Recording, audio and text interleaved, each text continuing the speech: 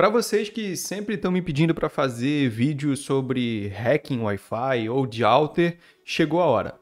Nesse vídeo eu vou falar sobre um equipamento um tanto quanto diferente. Então, bora comigo. Bem, pessoal, a Space Han me enviou um equipamento deles, o HackHeld Vega 2, um dispositivo portátil de código aberto baseado na placa de desenvolvimento ESP8266 Lolin D1 Mini, com uma tela OLED de 1.3 polegada, e esse formato que dispensa apresentações o HackHeld possui nativamente o firmware desenvolvido por eles, o ESP8266 de Alter, que permite fazer alguns testes Wi-Fi, mas que pode ser totalmente alterado.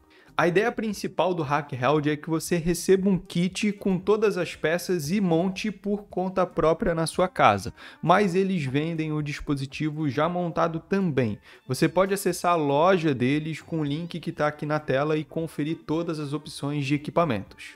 Bem, eu vou começar pelo óbvio. Por que, que esse dispositivo está conectado no cabo? Esse equipamento que eu recebi não veio com bateria integrada, mas possui um espaço na parte de trás para colocar ela. E com a documentação do dispositivo, você aprende a instalar essa bateria também. É um mod de bateria. Inclusive, sobre a documentação, há bastante coisa nela. Todas as informações que são relacionadas à montagem e instalação do firmware base. Quanto às funcionalidades do HackHeld Vega 2, ele é um Wi-Fi de alter simples, que na opção de scan pode verificar access points e estações. Na opção de ataque pode fazer de alter, beacon e probe. E também possui a opção de monitoramento de pacotes. Além do que você pode conectá-lo a algum Wi-Fi específico para que ele execute os testes logado.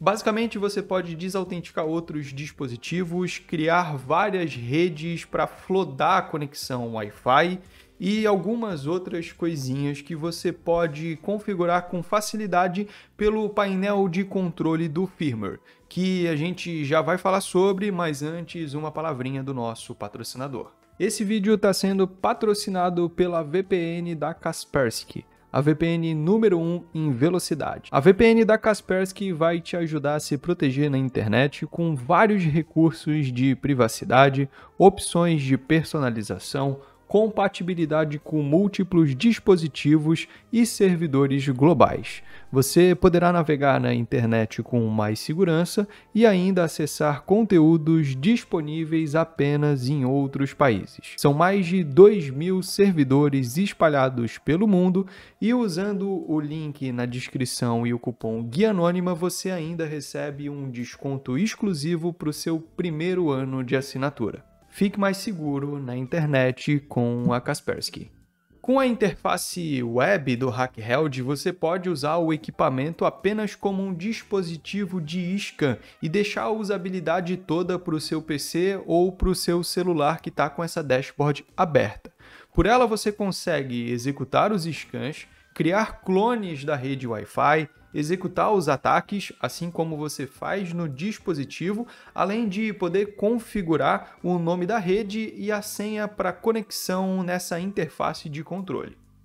É um gadget bem bonito, aparentemente bem construído, que originalmente tem funções limitadas a um Wi-Fi de Alter por suas tecnologias integradas e o seu firmware padrão, que possui a possibilidade de personalização, tanto da parte do hardware como do software. E eu gostaria de agradecer ao Space Han por ter me enviado o HackHeld Vega 2 para essa mini review e os adesivos e o pin são espetaculares. E se você ficou interessado, acesse o link que está aqui na tela para saber mais sobre os projetos dessa pequena empresa alemã. Como vocês devem saber, eu não sou especialista em hardware hacking, mas eu quis trazer o meu ponto de vista como usuário aqui, já que esse é o Guia Anônima, um canal que fala sobre segurança da informação e hacking. Eu sou Afonso da Silva e eu espero que você tenha curtido. Até mais!